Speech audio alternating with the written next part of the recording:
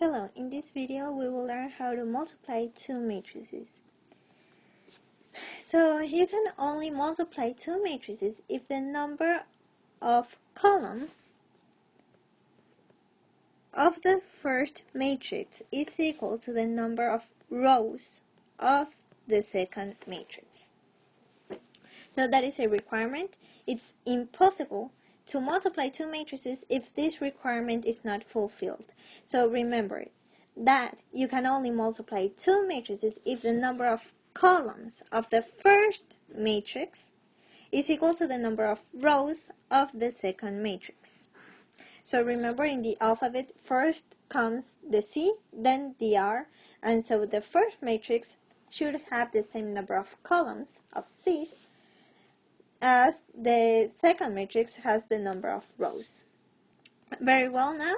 So if we were to say that A is a matrix with dimensions m times n, as you might recall, when we represent the size of a matrix, we always do rows times columns.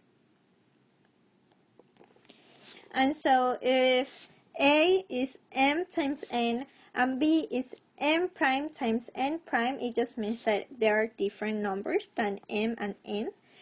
Um, and we want to multiply these two to equal to c, then it means that n, which is columns of A, should be equal to the number of rows of B.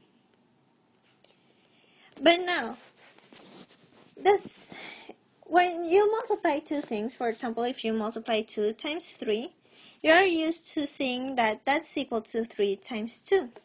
That's basically the commutative property of multiplication. So, do you think that the commutative property also holds for matrices? Well, it doesn't.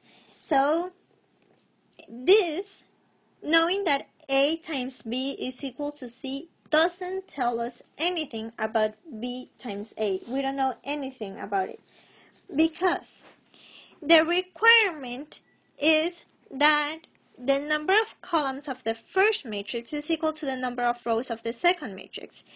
This means that if you are multiplying a matrix A with size 2 times 3 and a matrix B of size 3 times 1, you could multiply A times B and get C since 3 is equal to 3. So the 3 right here is equal to this 3 right here. So we can multiply A times B. However, if we try to multiply B times A, you see that you are trying to multiply a matrix that has size 3 times 1 and another matrix that has a size 2 times 3. If you write it like this, you can see that these two should be equal. So right here, for example, we have 2 times 3 and 3 times 1. And so if you put it right like this, you see that these two adjacent numbers must be equal. In this case, these two adjacent numbers, which is the number of columns of B and the number of rows of A, are not equal. So you cannot multiply b times a. However, you can multiply a times b and that gives you a valid answer, a valid matrix. Now, when you multiply two matrices, the resulting matrix will have the same number of rows as the first matrix and the same number of columns as the second matrix. So the size of C will be 2 times 1. We will see some examples and see how to multiply, but right now it's very important that you know these concepts. So when you multiply two matrices, these adjacent numbers must be equal, which is the number of columns of the first matrix and the number of rows of the second matrix, and the resulting matrix will have this Uh, the same number of rows as the first matrix and the same number of columns as the second matrix. And so I have it written here in case you want to read it.